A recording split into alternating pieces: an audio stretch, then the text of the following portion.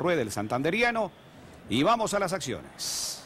Aquí está Acuña, el hombre que inicia la jugada. El pase de Teófilo Gutiérrez al fondo. El árbitro equivocadamente determina que hay penalti.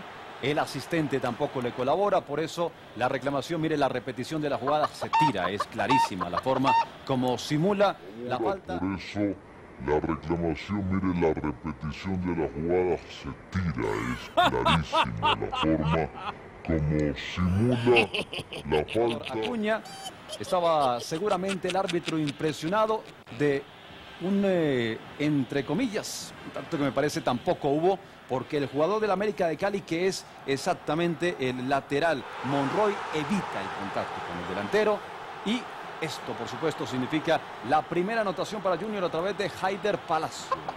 Quinto gol en el campeonato para el lateral derecho de Junior.